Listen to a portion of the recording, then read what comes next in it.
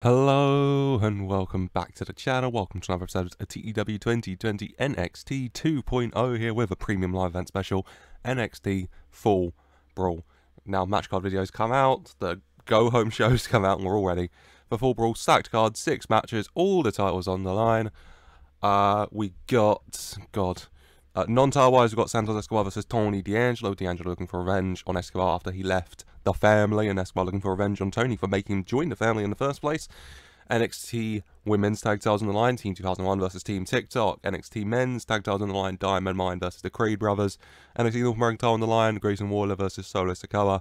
NXT Women's title on the line, Mandy Rose Saraya, and NXT Championship on the line, uh, Carmelo Hayes versus Wes Lee. Strong card hopefully will do very well. Fingers crossed. Well, further ado, let's just jump into it though. Let's jump into our second premium live event special of the series, NXT Fall Brawl.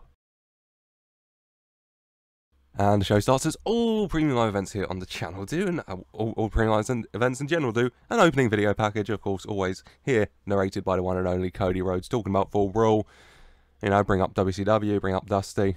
Dusty, yep you know, all that, go over the card, though, go over all the matches I've already gone over in the intro. 72, very good. Cody Rhodes came across very well. Cody Rhodes improvised well throughout the segment. It is Cody Rhodes, and we're just very happy to have him here.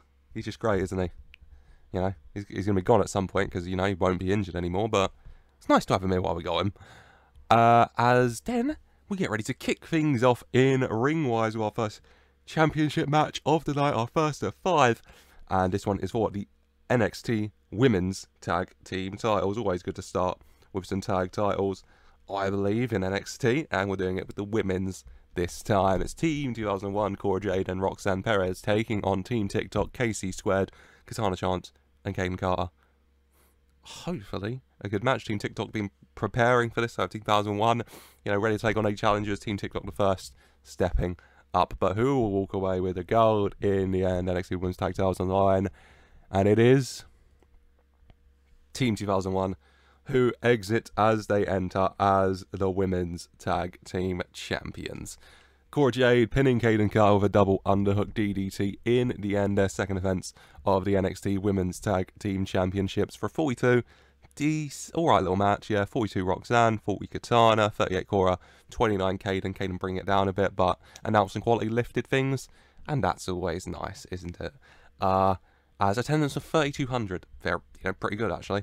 As Team 2001 keep a hold of their women's tag titles. Team TikTok cannot get it done here today. They will not be Fortnite dancing on those kids with those belts at the moment. I am sorry. Uh, uh, before then, we go to a little bit of fun. We go to the Chase U road trip as it finally comes to an end. They finally arrive at their destination. Andre Chase pulls up.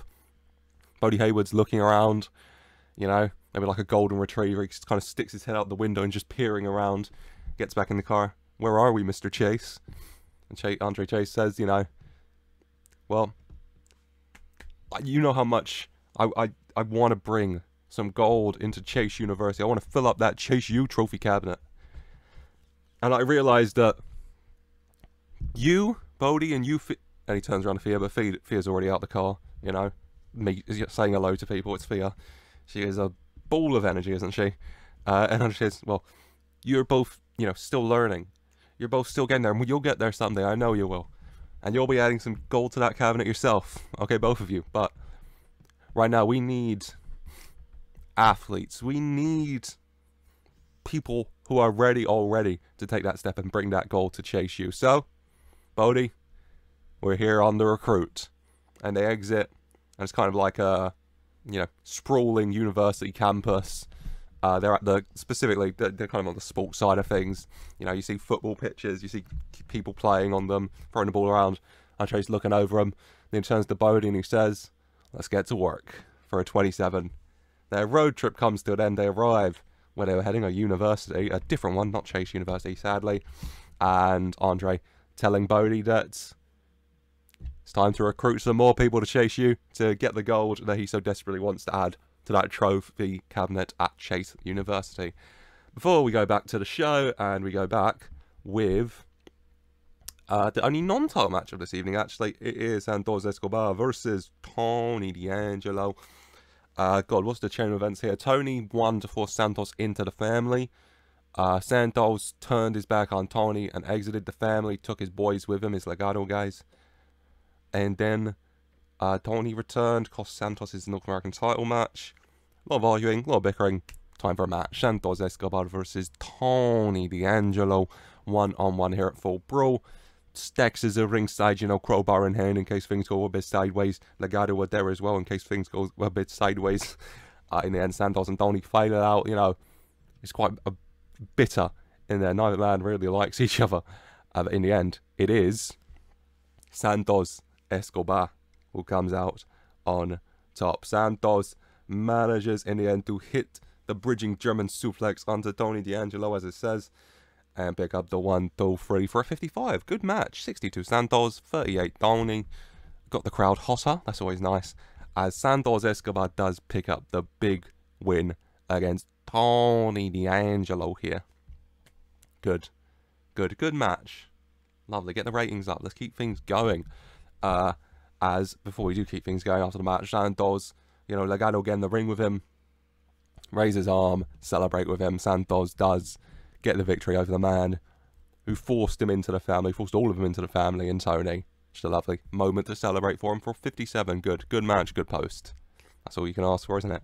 Before we go back to the title picture and we go back to the tag title picture in, in particular with the NXT men's tag team titles on the line, the champions, the Diamond Mine, uh, Roderick Strong and Damon Kemp with Tatum Paxley at ringside taking on the Creed brothers, of course. The Diamond Mine kind of broke apart, hasn't it? Tatum welcomed him by Roddy. Tatum turned on Ivy. The Creed brothers looking for Tatum to answers. Uh, and then the Creed brothers taken out by uh, Roderick Strong and Damon Kemp. A new Diamond Mine just goes very strong. Kemp and Paxley. Uh, Creed brothers returning during Roderick Strong's match with Wes Lee, costing him that. And now going head to head for that title. Diamond Mine versus the Creed brothers for the NXT Tag Team Championships. Creed brothers very angry. You know, maybe not as technical as they can be because of just how angry they are. They just want to hurt them. They're not so concerned with the technicalities of it all. They just want to hurt Roddy and Damon Tatum watching on. Uh, in the end, though, Diamond and Creed brothers fighting it out, and it is Julius in the ring with Roderick Strong. You know, Julius got Roderick Strong down, takes off his what I'm looking for elbow pad, gets ready for that big clothesline. He starts to go at Strong when Strong kicks him right in the crotch. the referee obviously seeing, calling for the bell, disqualification, the Creed brothers picking up the victory, but not the tag titles. Roderick Strong maybe using that uh, veteran instinct of his seeing things about to go sideways and swiftly kicking things to an end, shall we say for a 50. Pretty good match as well, though. 59 Roddy, 35 Julius, 35 Brutus, 34 Damon Kemp. The Creed brothers very in sync, aren't they?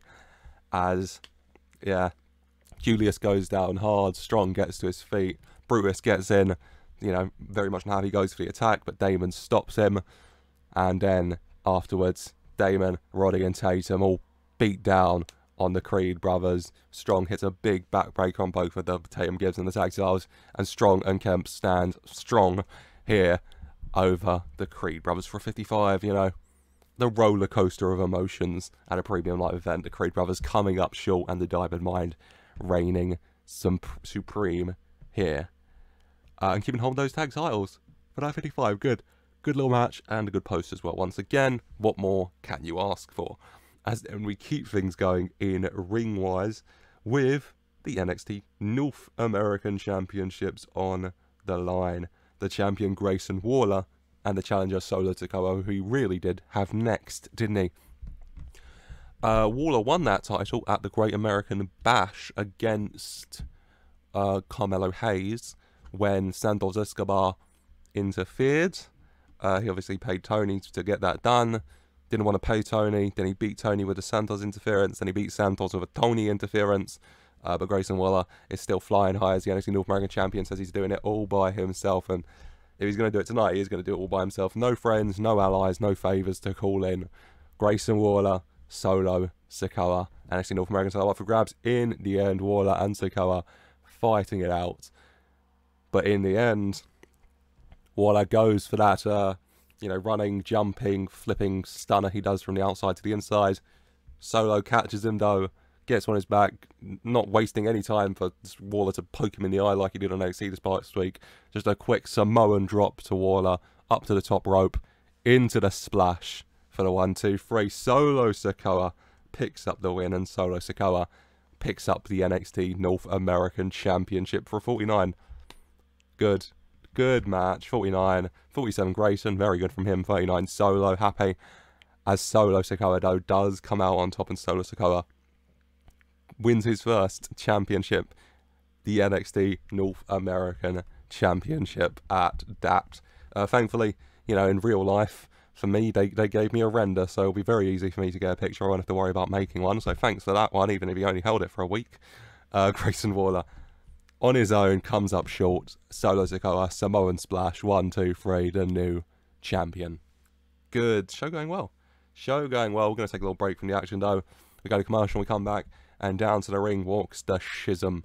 Joe Gacy, Rip Fowler, Jagger Reid, and the third, still currently hooded Druid and Gacy gets in the ring and Gacy says, Cameron, I offered my invitation to you. I said I would be coming here for you to join us, for you to come into my warm embrace at last, to finally accept, accept the help you so need and deserve.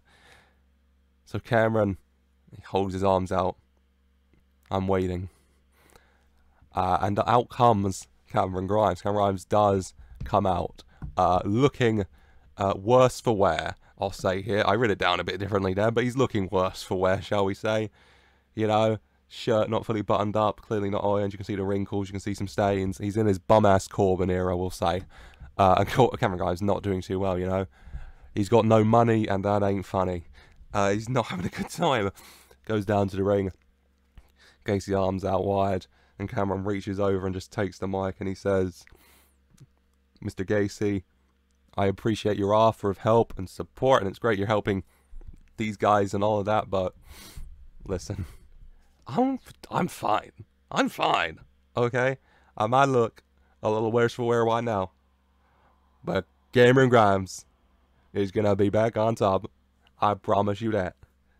For a 55, Cameron Grimes turns down the proposition, hands the mic back to Gacy. Gacy smile starting to drop a little bit as his arms slowly go down to his sides, realizing Cameron Grimes isn't to go into his warm embrace. Jagger and Rip begin to step forward towards Cameron. Jay Gacy stopping them just in time. Cameron Grimes already walking away at this point, so he doesn't even see that. Uh, but yeah, 30, 55 for that. Good little segment. Good little segment. Just continuing on this. Continuing on whatever the hell this is. uh, nicely for a 55 as well. Good. As then we go to the penultimate match of this evening, and it is the match for the NXT Women's Championship. The NXT Women's Championship on the line. And we have the champion Mandy Rose taking on Saraya. Mandy Rose, still champion. Gigi and Jacy by her side, still trying to use that numbers advantage, but Saraya's even things up a bit. She's got the support of Indi and Nikkita, who Toxic and Mandy are both messed with in recent months. You know, Toxic is creating this kind of army of superstars they've annoyed to the point of wanting to beat them up, which isn't the best thing for them, probably. Uh, Mandy versus Saraido. Jacy's still a bit hurt, but she's at ringside with Gigi, Indi and Nikkita there as well to stop any funny business. Mandy and Saraya going at it. When in the end they're fighting it out. Saraya's starting to get on top. Gigi goes on the apron. Indi straight over to stop her. Jacy's about to get involved, but Nikkita steps in between them, and Jacy's already hurt, so, you know, Probably best not to do that. Mandy and Sarray still going at it though. Sarray on the top, like I said. Sarray goes to the top rope, but Mandy gets up just in time, tries to pull her down, but can't. So I manages to push her down, but Mandy rips off the necklace thing that's on her attire. Sarray a bit surprised by that. You know, going down to get the necklace thing from Mandy, picking up, putting her back on her attire before she can. Mandy kicks her knees out, her legs out, shall I say. Sarray goes down to one knee, Mandy quickly to her feet, and then a quick knee to the face for the victory. Mandy Rose does come out in top in the end over Sarray for a 47. Fine match. They didn't click sadly, but we moved. 44 Sarray, 40 Rose, done okay there. Uh, but it's Mandy Rose making her seventh defense of the NXT Women's Championship in the end as Toxic can celebrate in the indicator in the ring to check on Sarray. She's upset, you know got a bit distracted there and it cost her. She's a bit upset with Indi and Nikkita checking on her. Whilst Toxic stand tall up the ramp again for 51. Good. Another good match, good post. That's all you can ask for, and hopefully we'll have it one more time. Next up, with the main event, Wes Lee coming out first, more subdued entrance, Carmelo Hayes following a much less subdued entrance. It's Carmelo Hayes and Tricky Willie for a 74. Jesus Christ, Carmelo Hayes. Carmelo Hayes, as I put it here, Mello makes a mellow worthy entrance. He's Carmelo Hayes. What, what more do you want? He's Carmelo Hayes. I, I can't even think of the entrance. It's, it's, it's Mello. But you know the type of entrances Mello does before the NXT Championship is on line. Carmelo Hayes versus Wes Lee. Carmelo Hayes has only had that title for about six weeks since he beat Bron Breakker with a bit of Trick Williams' help. Uh, whilst Wes Lee is looking to pick up his first single style in WWE. He beat Cameron Grimes. Uh, to earn the right to challenge for that title. He beat Cameron Grimes and won all his money, gave it to charity. How lovely of him. Wes Lee and Carmelo Hayes one on one. Hopefully, will be a good match. Both are really good. Uh, Mello Lee battling it out, high flying affair. Both men wanting this. Wes Lee getting a very close two full. The crowd fully invested, wanting Lee to come out on top. Lee goes for a 630 senton, but Mello gets his knees up in time. Lee hurt, holding his back in pain. Hayes quickly to the top rope, and then Carmelo Hayes hits nothing but net for the victory, as Carmelo Hayes does keep a hold of his NXT Championship for a 63. Good match. Mello comes out on top, making his first defense of the NXT title. 59 Lee, 55 Mello. Mello was off his game, sadly, but we move. He's getting better his gimmick, so there's always that. Crowd was buzzing. That's all you can ask for in the championship main event, isn't it? Mello does come out on top, though. Lee Trick coming in the ring and raising Mello's hand, giving the title. Carmelo Hayes standing tall when the sirens start to blare and out storms the former NXT champion, Bron Breakker. Mello in shock, Trick in shock, Trick telling Mello, I'll deal with this, goes out the ring, begins to walk up the ramp towards Bron Breakker, and Bron Breakker just absolutely decks him, you know, takes his head off with a clothesline pretty much. Bron Breakker in the ring, and then Bron and Mello face to face. Mello raising that towel, I'm the A champ round here now. Bron Breakker very much not happy for a 70. Good, good main event, really good post. Bron Breakker making his return to end things here and immediately making it clear that he was not happy about losing that title, especially in the way he did with that Trick Williams interference, and he wants it back. As overall, Fall Brawl gets us a 68, incredible show, increased up on 52 regions. What more can you ask for? If I'm making speeches, I'll give one to Carmelo. Who else deserves one? Uh, give one solo. You won the title, mate. Congratulations. And uh, let's give one to. Oh god, let's give it to Mandy. Screw it. Let's give it to Mandy. Still champion, still doing really well. Give him all the praise. Uh, pleased, pleased, pleased. And I am very pleased as this premium live event special comes to an end. I hope you have enjoyed. If you did, why don't you leave a like and subscribe for more to see the fallout from Fall Brawl when it comes. I can feel a cold coming on, so it might be a little bit longer than usual. So apologies for that if that's the case. But still, I hope you enjoy. Leave a like, subscribe more. And as always, I just want to say a very special thank you for watching.